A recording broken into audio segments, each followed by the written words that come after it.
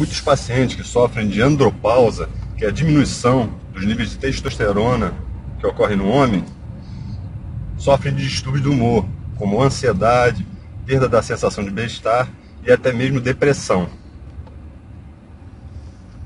Felizmente, um estudo de revisão que avaliou a relevância e a efetividade de outros diversos estudos sobre modulação hormonal de testosterona mostrou que a reposição desse hormônio, quando necessária, tem um efeito muito positivo no humor desses pacientes, sendo muito importante para o tratamento da depressão. A testosterona age no cérebro de diversas maneiras. O cérebro é o segundo local onde existem mais receptores específicos para testosterona, principalmente no área do cérebro conhecida como sistema límbico, que é uma área que tem o controle das emoções, também da memória e do raciocínio. A testosterona estimula o aumento de alguns neurotransmissores no cérebro, como por exemplo a dopamina, que é um neurotransmissor muito associado à sensação de prazer.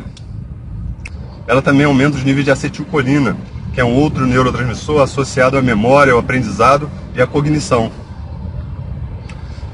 A testosterona também aumenta as concentrações de um outro hormônio, que é dihidrotestosterona no cérebro, que é um derivado da testosterona.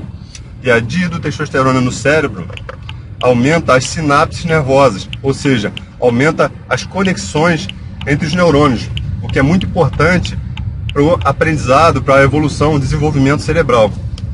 Então, se você é homem e sofre com depressão, é muito importante o seu médico avaliar também seus níveis hormonais.